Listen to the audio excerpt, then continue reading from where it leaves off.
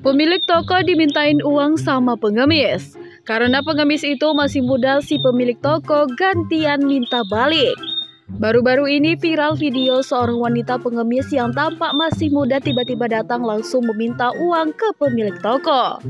Dan karena wanita pengemis itu lebih muda dari si pemilik toko, si pemilik toko ini pun gantian meminta uang ke wanita pengemis tersebut. Sontak wanita pengemis itu pun tampak langsung pergi. Enggak. Waalaikumsalam.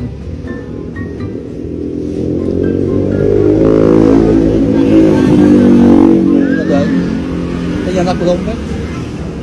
Ada seorang dia. Nah tuh, minta tidinya seribu atau